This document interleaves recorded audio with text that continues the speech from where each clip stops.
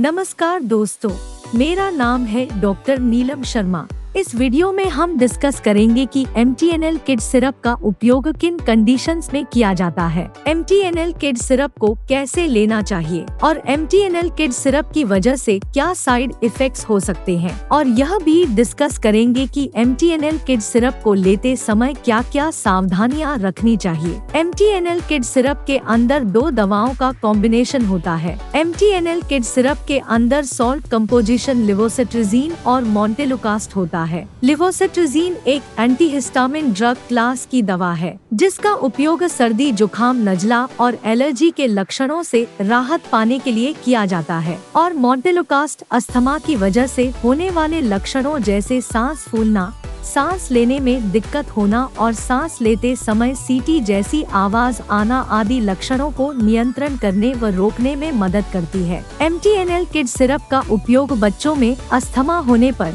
सर्दी जुखाम नजला और एलर्जी के लक्षणों को ठीक करने के लिए M T N L kid syrup का उपयोग किया जाता है। सर्दी जुखाम एलर्जी या नजला के लक्षण जैसे नाक से पानी बहना, नाक का बंद होना, आँखों से पानी आना, आँख नाक या गले में खुजली होना, छींक आना और शरीर पर कहीं खुजली होने पर आदि लक्षणों से राहत पाने के लिए M T N L kid syrup का उपयोग किया जाता है। डॉक्टर क्रोनिक अर्टिकेरिया होने पर यानी त्वचा पर पुरानी खुजली की समस्या होने पर त्वचा पर एलर्जी होने पर और त्वचा पर रैशेस होने पर भी M T N L kid syrup को लेने की सलाह दे सकता है। मधुमक्खी या किसी अन्य कम जहरीले जानवर के काटने की वजह से हुई त्वचा पर रैशेस सूजन और खुजली को ठीक करने के लिए भी doctor M T N L kid syrup को लेने की सलाह दे सकता है। साइड इफेक्ट्स की बात करें तो वैसे तो ज़्यादातर बच्चों में M T N L kid syrup की वजह से कोई साइड इफेक्ट्स नहीं होते हैं। लेकिन कुछ परसेंट बच्चों में M T N L kid syrup की वजह से कुछ सामान्य साइड इफेक्ट्स हो सकते हैं। जैसे मुँह में सूखापन होना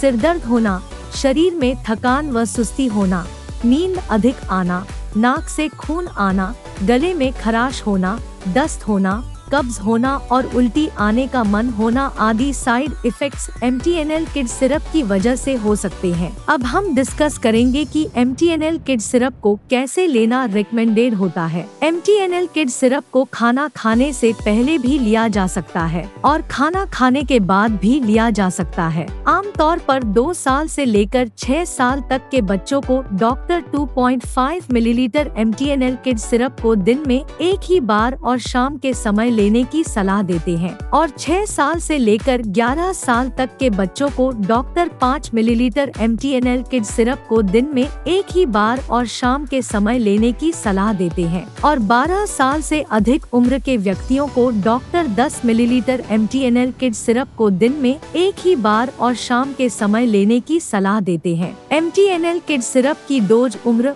शरीर के वज़न और बीमारी की गंभीरता के आधार पर कुछ व्यक्तियों में इससे अलग भी हो सकती है। इसलिए आपको M T N L kid syrup को आपके डॉक्टर द्वारा बताई गई डोज में ही लेना चाहिए। दोस्तों, अगर आपको वीडियो पसंद आ रहा है तो कृपया वीडियो को लाइक करना व चैनल को सब्सक्राइब करना न भूले। अब हम डिस्कस करेंगे कि M T N L kid syrup को लेते समय क्या क्या सावधानियाँ रखनी चाहिए। दो साल से कम उम्र के बच्चों को M T N L kid syrup को देना रिकमेंडेड नहीं होता है। इसलिए दो साल से कम उम्र के बच्चों को M T N L kid syrup को डॉक्टर की सलाह के बिना नहीं देना चाहिए। वैसे ज़्यादातर बच्चों में M T N L kid syrup को लेने के बाद ज़्यादा नींद नहीं आती है। लेकिन कुछ बच्चों को M T N L kid syrup को लेने के बाद नींद अधिक आ सकती है। वीडियो को देखने के लिए आपका धन्यवाद। अगर आपको वीडियो पसंद आया तो प्लीज़ वीडियो को लाइक कर देना। चैनल को सब्सक्राइब कर लेना।